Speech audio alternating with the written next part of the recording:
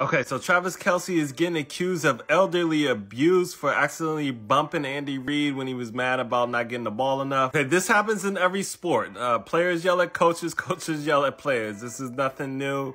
Uh, it's just because Andy Reid is a little fat and not as mobile. Every great player has yelled at the coach, give me the fucking ball. Every great player. Uh, the Swifties were like, oh my god, imagine how he talks to Taylor. This is football! This is testosterone versus testosterone, okay? In the heat of the moment, that's how guys talk. Give me the fucking ball, man. What the fuck's going on? Get out there.